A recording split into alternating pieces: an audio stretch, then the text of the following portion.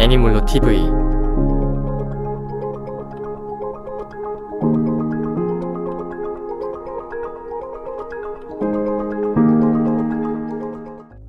아, 원투 촵촵!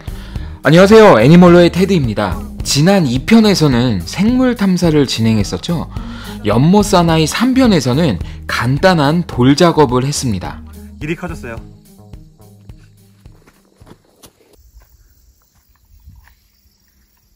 앞으로는 요- 저희가 지하수를 저희가 지하수가 나오거든요. 이렇게 선을 라인을 연결해서 지속적으로 유량이 확보될 수 있도록 흐를 수 있도록 저희가 조치를 해줄 거고 턱을 쌓아야겠죠. 네, 이렇게 턱을 쌓아서 흘러나갈 수 있는 구멍까지 만들겠습니다. 최근에 산사태가 났어요. 산사태가 나가지고 쓸만한 돌들이 많습니다. 가서 돌을 좀 주워 담아 볼게요. 자, DK가 이야기한 대로 우선 1차적으로 막을 수 있는 돌들을 주우러 갑니다.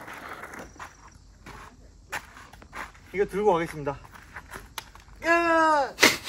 여러분, 속으셨죠? 방금 DK가 들려고 액션을 취했던 그 돌이 아니고 그 돌 앞쪽에 작은 돌입니다. 처음 그 돌은 절대 사람이 들 수 있는 크기가 아니에요. 와! 와! 와! 와! 진짜 DK 또 놀라는데요. 사마귀가 있다고 합니다. 아니, 왜 이렇게 겁이 많냐, 진짜. 진짜. 사막이네.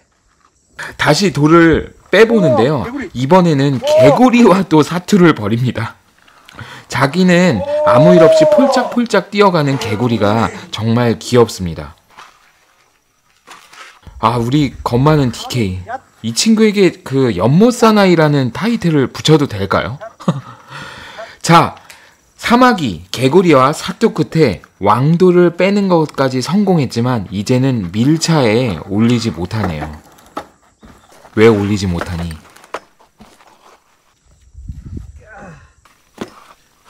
자, 겨우겨우 왕도를 올린 이후에 열심히 돌아가고 있습니다. 어, 어, 어, 저 언덕, 언덕, 언덕, 저 언덕 불안한데? 아, 왕돌이 뒤로 굴러 떨어집니다.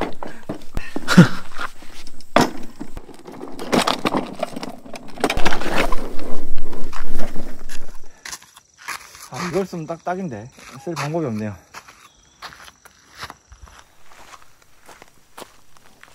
자, 추가적으로 돌을 채집하고 있는 모습인데요. 오. 이렇게 한 다섯 번 왔다 갔다 했다고 합니다.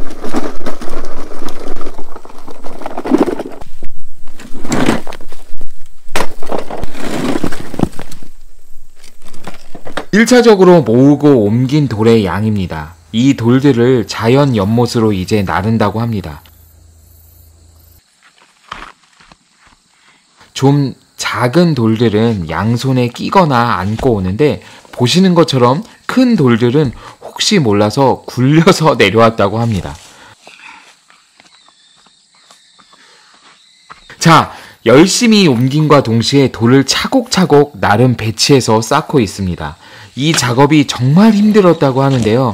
돌도 돌이지만 언덕을 오르락 내리락 해야 돼서 그게 정말 가장 힘들었다고 합니다. 그래도 이제 제법 그럴듯한 모양이 나왔는데요. 정말 고생 많이 했네요. 참, 여러분, 겨울에 해가 빨리 진다고 하잖아요. 실제로 20분 만에 완전히 깜깜해지는 모습을 볼 수 있습니다. 점점 어두워지는 게 보이시나요? 실제 딱 20분 동안 그냥 정말 빨리 이렇게 어두워졌습니다. 이렇게 금방 어두워지는 것을 보니 야간 작업 시에는 조심해야 되겠다는 생각이 듭니다.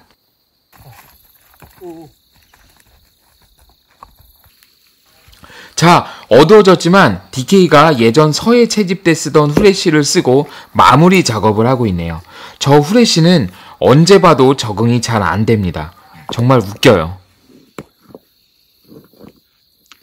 이제는 확실히 언덕을 올라가는 속도가 느려졌습니다. 다리도 풀린 듯 저렇게 좀 휘청거리네요. 애니멀레이 DP입니다. 돌 작업을 하다 보니까 밤이 샜어요. 오늘은 작업을 더 이상 하지 못할 것 같고요. 자, 내일 아침에 만나시죠. 자, 3편 돌 작업은 이렇게 마치도록 하고요. 4편에서는 본격적인 수로 작업이 이루어집니다. 어? 4편부터는 변화가 크다고 하니 기대해 주셔도 좋고요. 애니몰로 연못 사나이 컨텐츠도 많은 관심 부탁드립니다. 감사합니다. 애니몰로 TV. 크크크크크.